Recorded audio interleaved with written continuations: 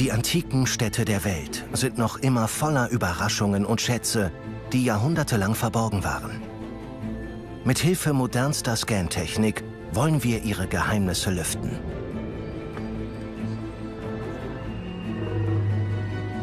Athen, die Wiege der Demokratie. In und um Athen leben heute fast vier Millionen Menschen. Während des letzten Jahrhunderts ist die Stadt förmlich explodiert. Nun existieren Monumente und antike Städten Seite an Seite mit moderner Architektur und angesagten Vierteln.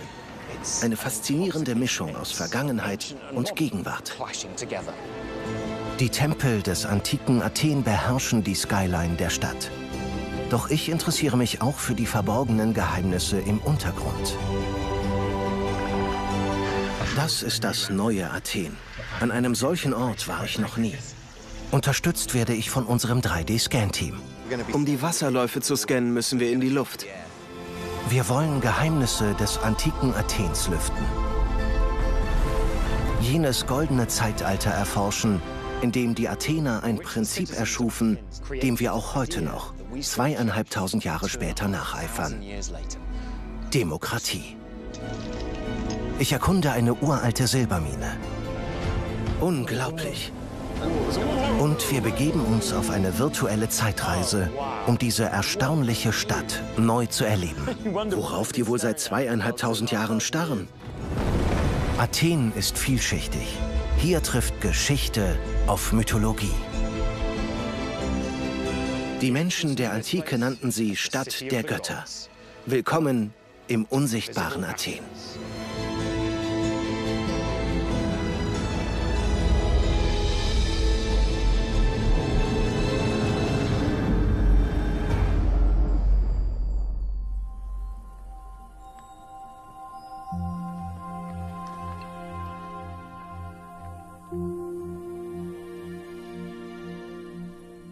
Akropolis thront auf einem Hügel im Stadtzentrum von Athen.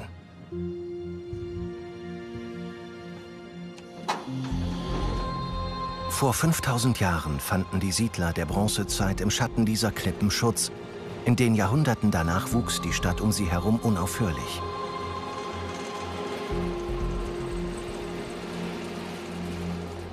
Gegen Ende des 6. Jahrhunderts vor Christus fand hier ein bemerkenswertes Ereignis statt. Auf diesem Hügel stürzte das Volk von Athen einen Tyrannen und erschuf die erste Demokratie der Welt. In dem darauffolgenden goldenen Zeitalter entstanden die wunderbaren Bauten, die man auch heute noch bewundern kann. Hier oben befindet sich das antike Tor zur Akropolis. Sein Zweck war es, die Perspektive zunächst einzuschränken um dann plötzlich den Blick freizugeben auf eines der bedeutsamsten Gebäude der Menschheitsgeschichte.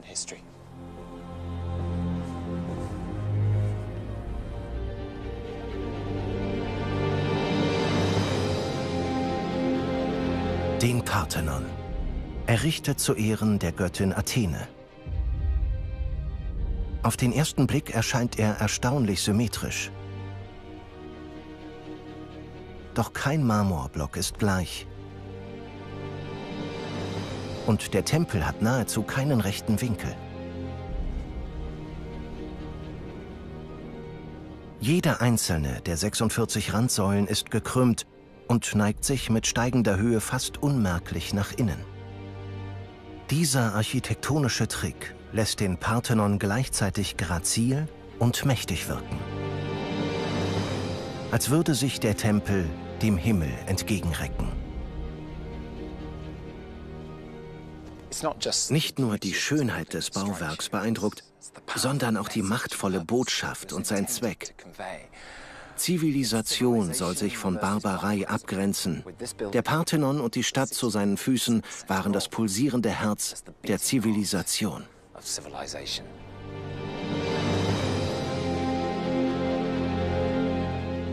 In seinem Schatten befindet sich ein kleinerer Tempel, der häufig und zu Unrecht übersehen wird. Wir werden herausfinden, warum dieser Tempel eines der wichtigsten Bauwerke des antiken Athen ist. Der Parthenon ist für seine scheinbare Symmetrie berühmt. Das kann man von seinem exzentrischen kleinen Bruder gegenüber nicht behaupten. Das ist das Erechtheon, in dem das hölzerne Kultbild der Stadtgöttin Athene aufbewahrt wurde und außerdem das asymmetrischste Gebäude der griechischen Antike.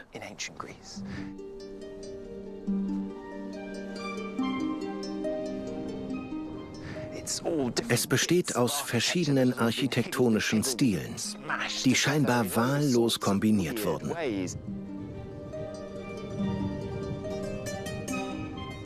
Man fragt sich, wieso entwarf man ein Bauwerk, das so aussieht?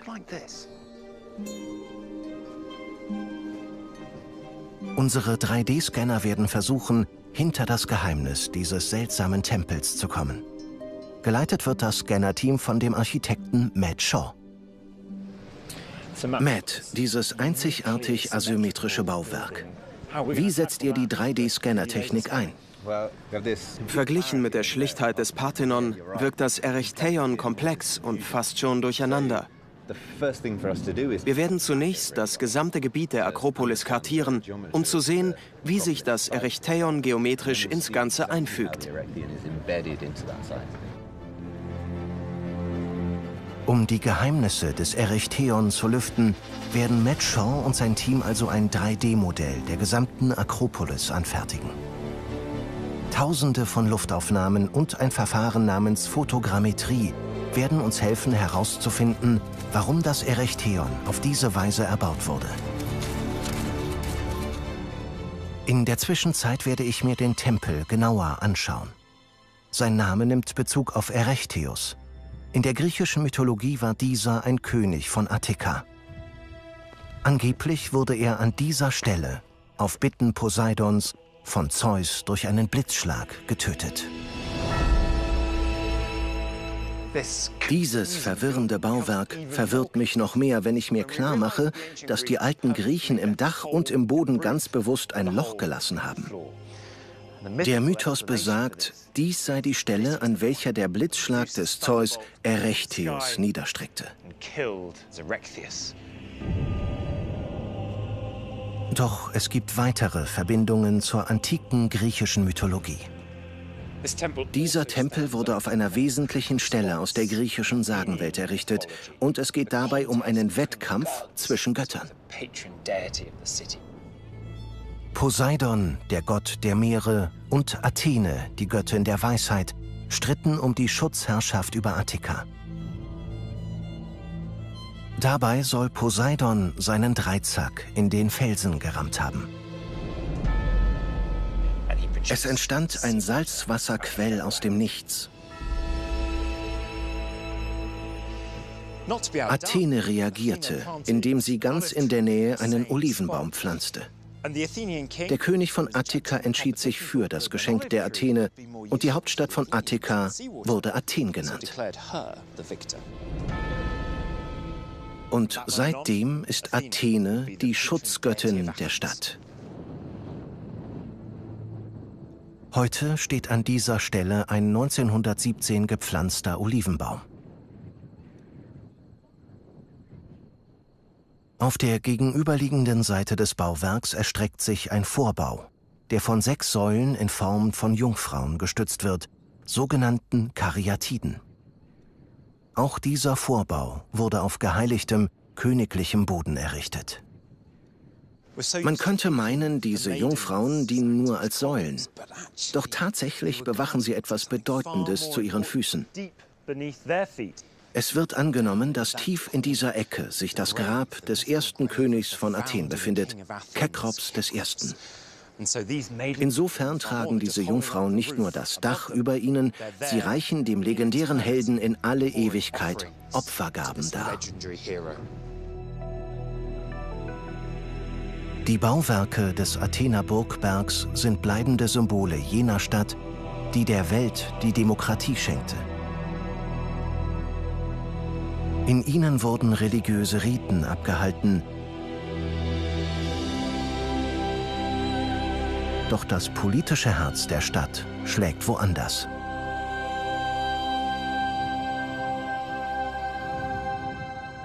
Westlich der Akropolis liegt ein Hügel namens Pnyx. Mein Lieblingsort in Athen. Die Bürger Athens versammelten sich an diesem Hügel, um zu diskutieren und abzustimmen. Wenn es also um den ersten demokratischen Versammlungsort der Welt geht, das ist er. Doch es war keine Demokratie, wie wir sie heute kennen. Denn in Athen galten nur die Männer als Bürger. Frauen und Sklaven durften nicht abstimmen. Die Demokratie des antiken Athens war also eine andere. Die Menschen damals hätten unsere Form der Demokratie ebenfalls nicht wiedererkannt. Denn wir stimmen nicht einzeln über bestimmte Fragen ab, wie sie damals. Doch hier, an dem Versammlungsort Pnyx, wurde genau dies praktiziert. Hier konnte jeder Bürger Athens seine Stimme abgeben.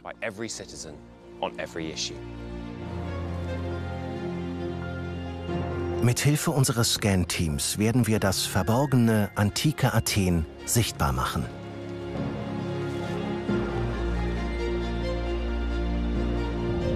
Die ersten Scans der Akropolis schaue ich mir nun an. Ich kann es kaum abwarten und besonders freue ich mich auf die Akropolis. Nimm Platz und dann geht's los.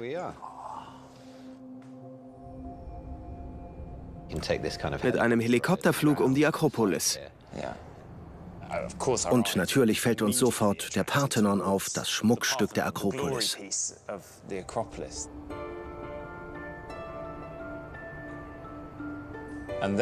Und hier ist der exzentrische kleine Bruder, das Erechtheon, mit seiner so außergewöhnlichen Bauweise. Lass uns genauer hinsehen, indem wir das Erechtheion einfach entfernen, sodass lediglich noch die Fundamente sichtbar sind. So sieht das aus. Eine Zeitreise zurück, bevor das Erechtheion erbaut wurde. Was übrig bleibt, ist ein hügeliges, ziemlich unebenes Gelände. Man kann erkennen, wie es von Süden nach Norden abfällt, um mehr als drei Meter. Das wirkt alles sehr beengt. Das Gelände ist also eher schwierig. Also Wie sieht es mit den geweihten Städten aus? Die waren doch bereits vorher da. Eine davon ist dieses seltsame Loch hier im Boden. In den alten Quellen heißt es, es sei durch Zeus Blitzschlag entstanden. Es gibt Zeiten, in denen bestimmte Städten mit dem Erdboden verbunden waren. Lass uns diese Städte im Zusammenhang mit der Architektur auf ihr betrachten. Es dauert nur Sekunden und der Vorbau erscheint. Wir sehen hier das Loch im Dach und es fällt auf, dass es sich genau über dem Loch im Boden befindet. Das zeigt, auf was die Athener beim Bau geachtet haben, dass es für die allsehenden Götter sichtbar war. Doch der Blick wird unterbrochen von etwas außerhalb des Gebäudes. Vom Olivenbaum. Der Olivenbaum. Den Baum konnte man nicht einfach entfernen. Es ist der Olivenbaum der Athene. Wie kommen wir damit klar? Naja, das kriegen wir hin. Der Baum steht unter Schutz. Da legt niemand Hand an. Der Baum bleibt. Aber schau, in der Nähe des Baumes ist eine weitere geweihte Stätte. Die Karyatidenhalle. Sie liegt etwas oberhalb des Baumes. Denke an das Grab von Kekrops, dem Ersten. Das gilt es zu respektieren, aber auch zu markieren, sozusagen. Hier ergänzen sich Geschichte, Identität und Baukunst. Die Baufläche ist begrenzt also und die heiligen Stätten bedingen weitere Einschränkungen. Ein Stück Erde, das von den Göttern berührt wurde. Ein Olivenbaum, gepflanzt von Athene. Und das Grab des ersten Königs von Athen.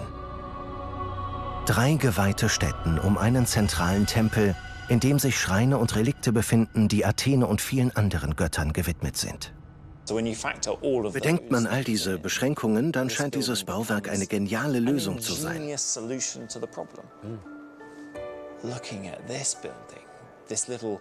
dann ist auch dieses Gebäude nicht länger der exzentrische kleine Bruder, sondern ein Musterbeispiel dafür, zu was die Athener fähig waren.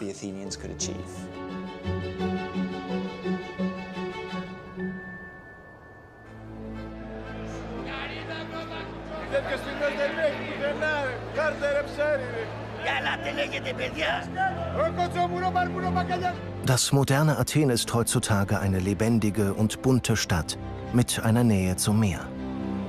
Es ist die geschäftige Hauptstadt einer Demokratie, die derzeit mit einigen Problemen zu kämpfen hat. Zu Zeiten der ersten Demokratie, als die Bauwerke der Akropolis noch nicht errichtet waren, musste Athen ebenfalls um seinen Platz in der Geschichte kämpfen.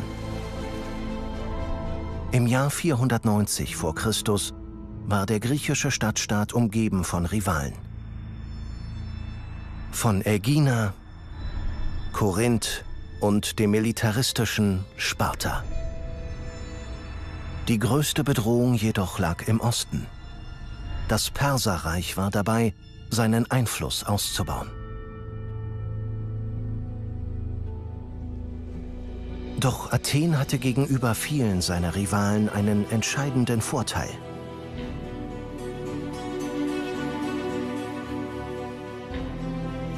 Die Landschaft, die unter dem Namen Attika bekannt war, war reich an natürlichen Ressourcen.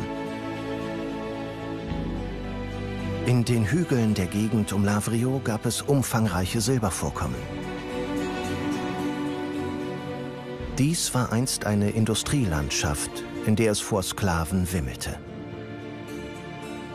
Um sich ein Bild von dieser Welt zu machen, begibt man sich am besten in eine dieser Silberminen. Hier geht's rein, Vorsicht mit dem Kopf. Ich passe auf. Mir zur Seite steht Professor Andreas Kapitanios. Er kennt diese Minen wie seine Westentasche.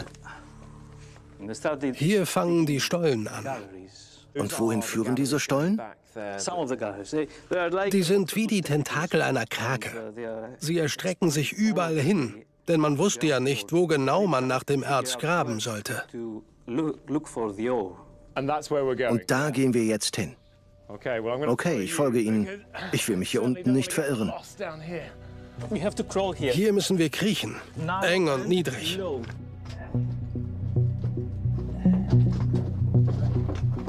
Kommen Sie, Michael? Bin unterwegs. Sind das Tunnel, wie sie damals gegraben wurden, auf der Suche nach Silber? Nach dem Erz, das Silber enthält. Schauen Sie mal. Hier kann man noch Werkzeugspuren erkennen.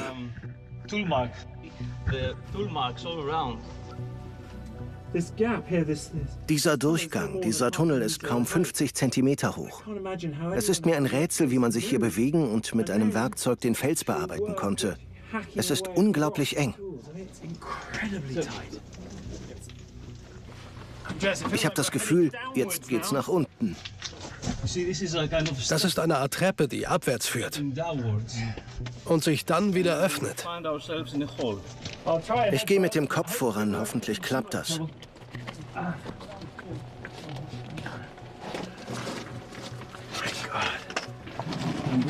Ich vermute, das hier ist die engste Stelle. Alles gut. Gut?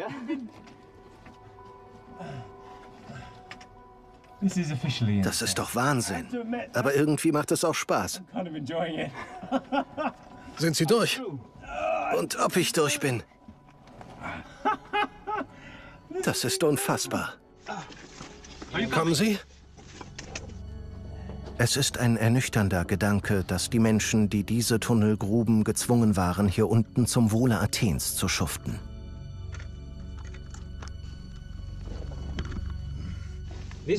Die Arbeit wurde von tausenden Sklaven verrichtet. Es waren Kriegsgefangene oder man kaufte sie auf Sklavenmärkten. Sie waren wertvoll, wertvolle Werkzeuge. Jeweils ein Erwachsener arbeitete mit einem Kind. Kinder? Ja.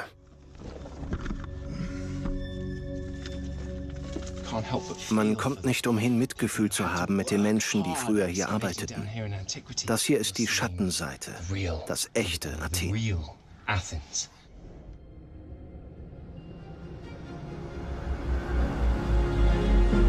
Unsere Scans enthüllen ein Labyrinth aus Tunneln und Kammern. Mehr als 100 Meter lang. Von Sklaven in den Berg gegraben, die der dünnen Erzader folgten.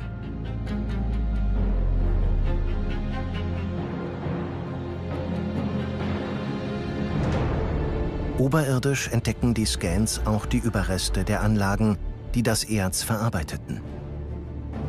Hier wurde es gewaschen, zermahlen und anschließend in Schmelzöfen erhitzt, um das wertvolle Silber zu gewinnen. Und dies ist nur eine von mindestens 30 bekannten Silberminen unter den Hügeln von Lavrio.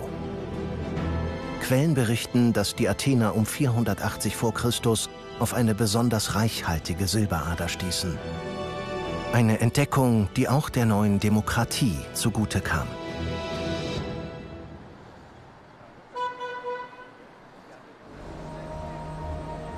Die Bürger Athens debattierten hitzig, wie man mit dem silbernen Segen verfahren sollte.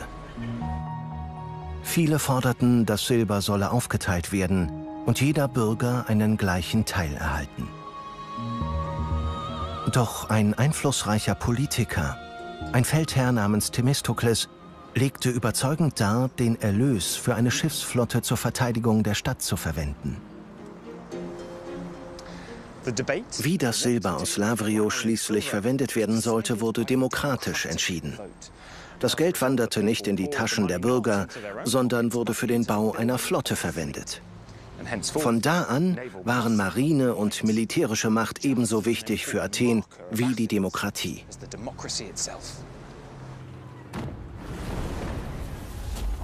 Die Flotte bestand aus sogenannten Trieren. Denn diese fast 40 Meter langen Kriegsschiffe wurden mit drei gestaffelt angeordneten Reihen von Riemen angetrieben. Sie waren leicht, schnell und mit einer bronzenen Ramme ausgerüstet. Um 480 v. Chr. umfasste die neue Flotte etwa 200 Schiffe. Zu einem Zeitpunkt, als sich Athen darauf vorbereitete, sich der tödlichen Bedrohung durch ein mächtiges Imperium entgegenzustellen.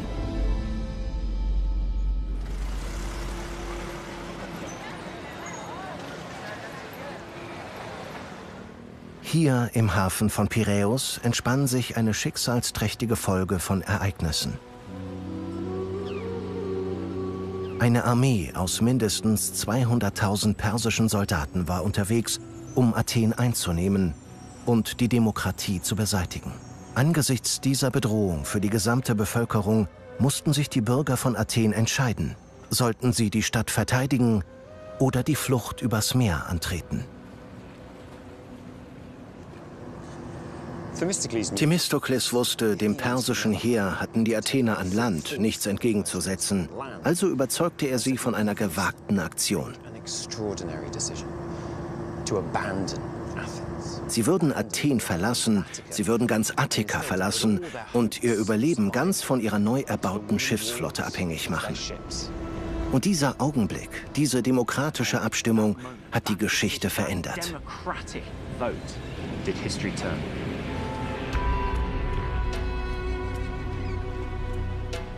Frauen und Kinder wurden in Sicherheit gebracht. Jeder Athener im wehrfähigen Alter wurde auf den Ruderbänken der Trieren eingesetzt.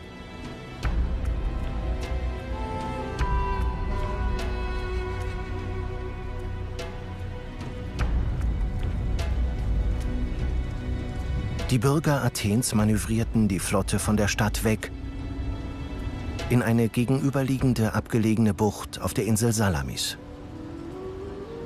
Hier schlossen sich ihnen Verbündete aus ganz Griechenland an. Und Ende September 480 v. Chr. machten sie sich bereit, dem Gegner entgegenzutreten.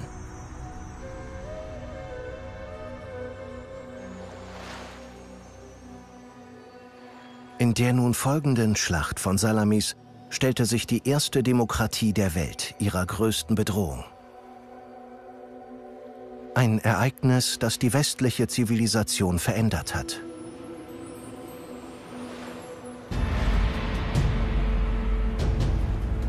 Mit diesen neuen Funden kann unser Scan-Team die exakten Koordinaten der Schlacht bestimmen. Ein 3D-Modell des Bollwerks und des Wehrturms zeigen, dass es sich 160 Meter weit in die Bucht erstreckte. Dahinter versammelten sich die 300 griechischen Trieren, um es mit der persischen Flotte aufzunehmen, die ihnen zahlenmäßig dreifach überlegen gewesen sein soll. Doch Feldherr Themistokles lockte die Perser in eine Falle.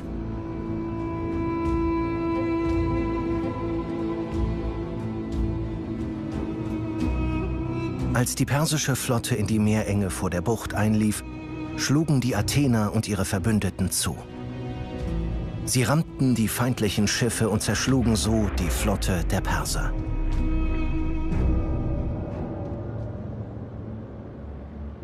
Ein überwältigender Sieg für die Demokratie Athens.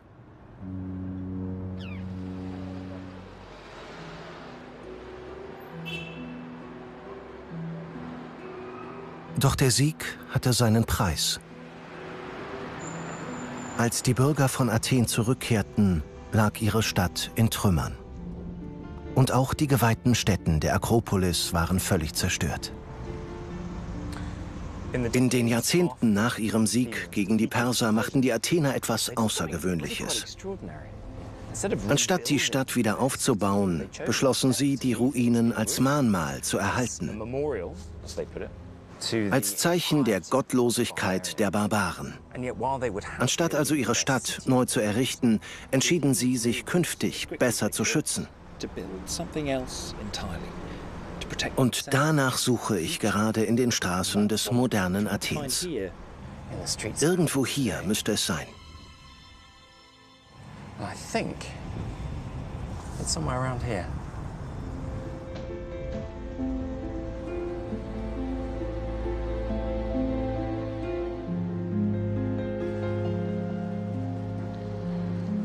Es hieß, ich solle mich bei den Toiletten links halten, Jetzt suche ich eine Treppe nach unten.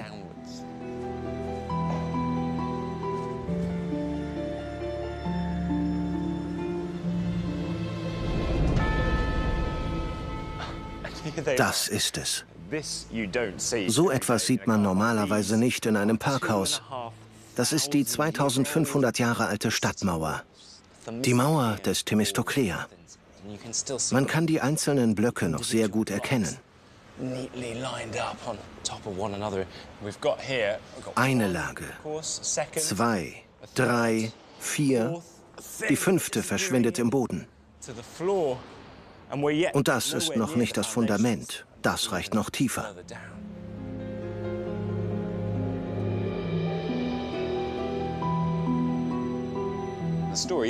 Man erzählt sich, jedem Athener wurde befohlen, alles stehen und liegen zu lassen, um beim Bau dieser Mauer mitzuhelfen. Für die Fundamente verwendeten sie, was sie hatten. Säulen, Skulpturen, sogar Grabsteine. Die Mauer sollte so schnell wie möglich fertig werden.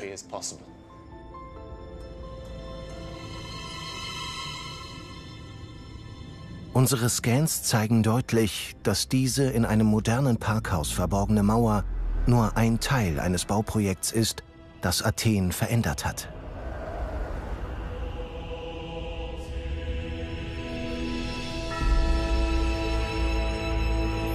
Zunächst errichteten die Bürger von Athen eine Stadtmauer. Dann verstärkten sie den 10 Kilometer entfernten Hafen von Piräus.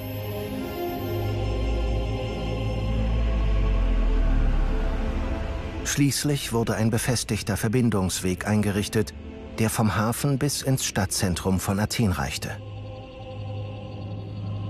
Ein System aus langen Mauern in einem Abstand von fast 150 Metern voneinander, etwa dreieinhalb Meter hoch.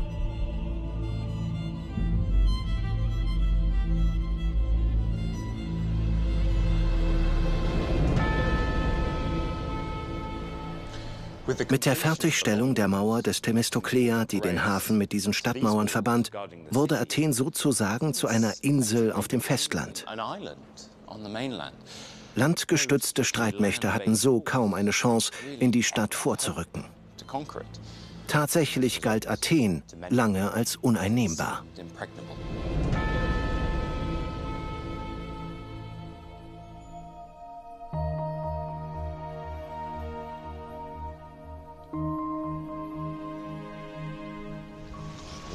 Aus dem Untergrund auf die Straße. Mal sehen, wie das wird.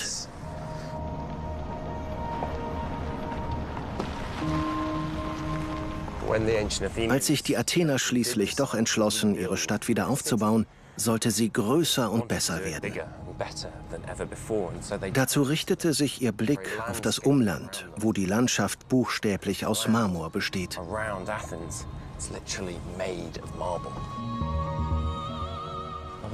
Im Grunde fahre ich also auf einer marmornen Straße.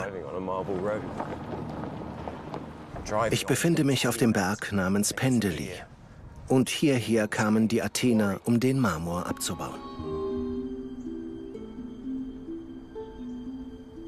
Der Marmor, der hier geschlagen und dann in die Stadt transportiert wurde, prägte bald das Antlitz des neuen Athen, einer Stadt an der Schwelle eines goldenen Zeitalters. Kunst und Architektur, Politik, Philosophie und Kultur, eine bedeutende Ära der Menschheitsgeschichte.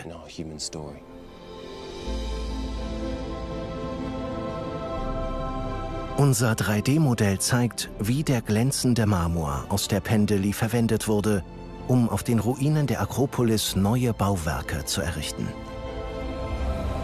Die prachtvollsten davon sind wohl der Parthenon, dessen Bau 447 v. Chr. begann, die Propyläen, der Tempel der Athener Nike und natürlich das Erechtheon. All diese Bauwerke wurden innerhalb von 40 Jahren fertiggestellt, also in der zweiten Hälfte des 5. Jahrhunderts vor Christus.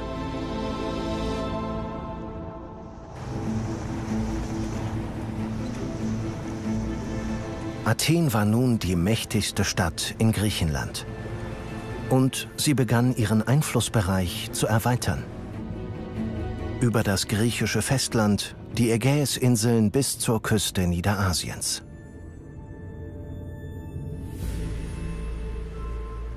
Doch diese Vorherrschaft blieb nicht unangefochten. Blickt man von hier aus nach Süden, schaut man auf die Peloponnes, Heimat des erbittertsten griechischen Rivalen. Sparta. Beide Städte bekämpften sich im sogenannten Peloponnesischen Krieg fast 30 Jahre lang. Auch in diesem Konflikt verließ sich Athen vor allem auf seine Schiffsflotte, während sich seine Bürger hinter den befestigten Stadtmauern verschanzten.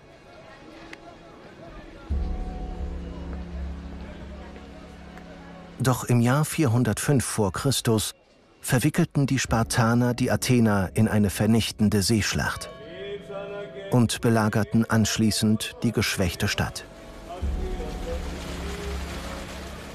Im darauffolgenden Jahr kapitulierte Athen.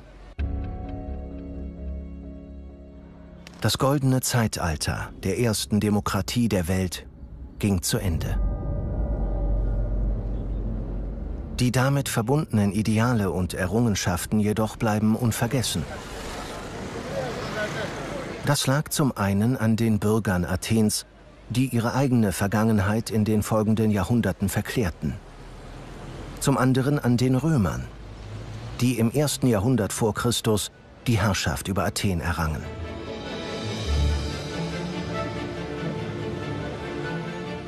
Während dieser Herrschaft wurde Athen zu einem beliebten Reiseziel der römischen Elite.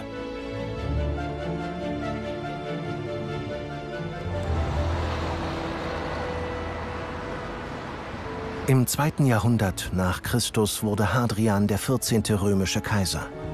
Er galt als leidenschaftlicher Bewunderer der griechischen Kultur. Hadrian ließ Athen nicht nur instand setzen, er beanspruchte die Stadt für sich. Das ist das Hadrians-Tor und dort über dem Torbogen kann man einen Satz lesen. Dies ist Hadrians Stadt.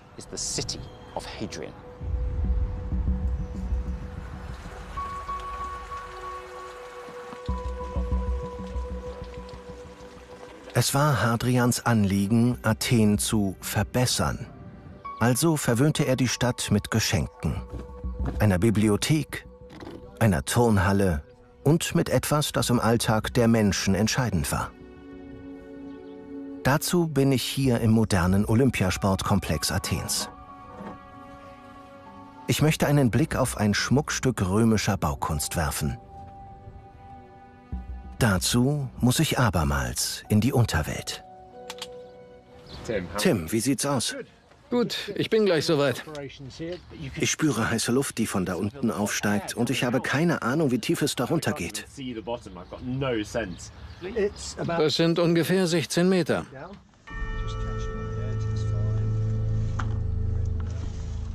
Der Schacht verläuft kerzengerade nach unten. Und er führt zu einem römischen Aquädukt aus dem 2. Jahrhundert nach Christus. Filmaufnahmen waren hier bisher verboten. Meine Güte, es wird immer enger. Ich höre Wasser. Und hier geht's rein in den Aquädukt. Da sind wir. Es ist so niedrig, ich kann noch nicht mal aufrecht stehen. Wo ist meine Taschenlampe? Das ist besser. Hier ist überall Wasser. Wahnsinn. Oh nein. Ich stecke fest. Muss mich seitlich drehen, aber ich glaube, der Durchgang wird dort hinten breiter. Immer geradeaus.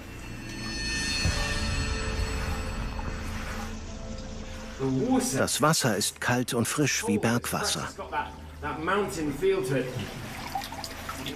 Zweck eines Aquädukts ist ja, Wasser aus dem Umland in die Stadt zu leiten. Ich stelle mir gerade die Arbeiter vor, die diesen Durchgang in den Felsen getrieben haben. Unter entsetzlichen Bedingungen.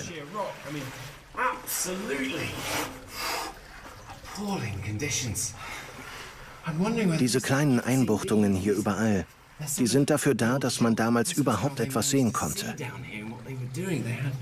Dort wurden kleine Öllampen abgestellt. Und in dem flackernden Licht wurde dann der Fels bearbeitet.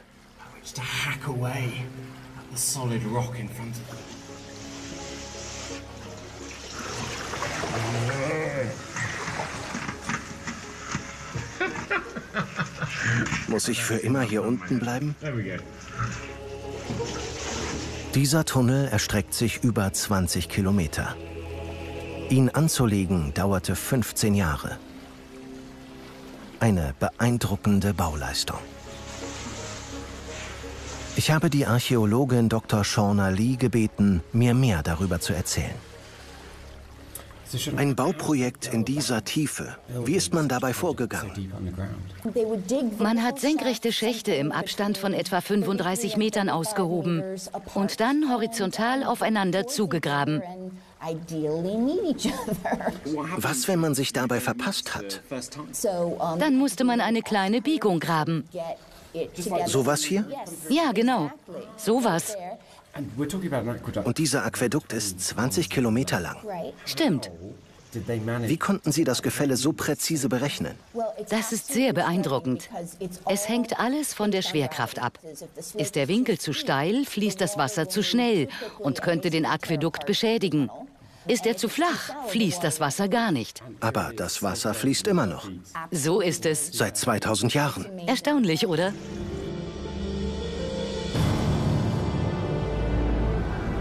Unsere Scans zeigen den Aquädukt äußerst detailliert. Man erkennt mehrere Biegungen, die die Arbeiter graben mussten, wenn sie sich fast verpassten.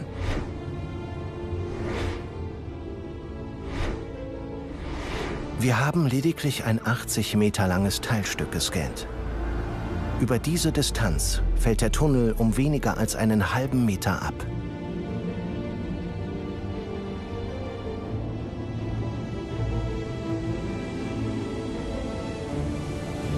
Ein so präzise konstruiertes Gefälle, dass der Aquädukt noch bis in die Mitte des 20. Jahrhunderts in Betrieb war.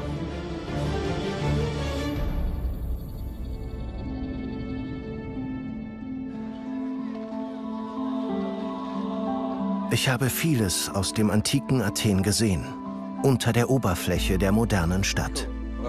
Mit Hilfe virtueller Bilderwelten kann ich diese Welt nun noch einmal betreten. Womit wir wohl anfangen? Mit der Akropolis natürlich. Der Blickwinkel eines Gottes hoch über der Stadt. Wir können auch niedriger fliegen und uns das Erechtheion genauer ansehen. Und hier, das schönste Puppenhaus der Welt. Schau mal. Ja, und ich kann einfach durch die Wände gehen. Dann kann ich es von innen betrachten.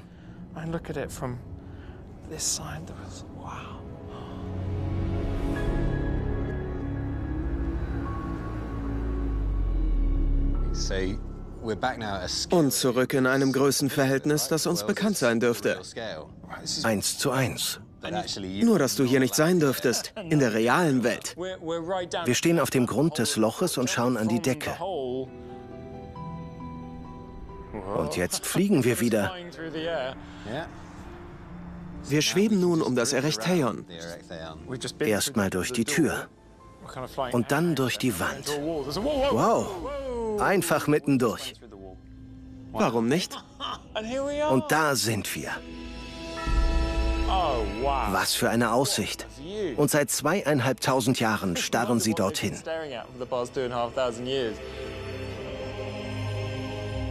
Stell dich doch mal da drauf. Ich kann doch nicht. Moment. Das ist ja abgefahren. Schlimmer als virtuell zu fliegen. Und nun nun stehe ich direkt neben den Karyatiden. Ach, alles überhaupt kein Problem. Denkst du, du hältst das zweieinhalbtausend Jahre durch? Bei dieser Aussicht? Ja, nicht übel. Die entschädigt für die Mühe. Direkt vor mir das Schmuckstück Athens, der Parthenon. Man spürt, was den Athenern so wichtig war. Die Verbindung zwischen Landschaft, Vergangenheit, Gegenwart und Zukunft. Wenn es einen Ort gibt, an dem man verstehen kann, was einen Athener ausmacht, dann dieser.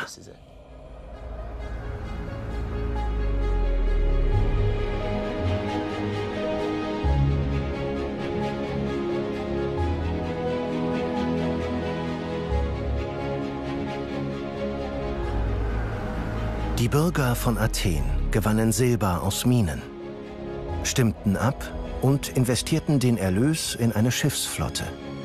Sie bauten Trockendocks für ihre Kriegsschiffe, befestigten Athen mit eindrucksvollen Stadtmauern und nutzten Marmor aus dem Umland, um ihrer Stadt eine neue, einzigartige Identität zu verleihen.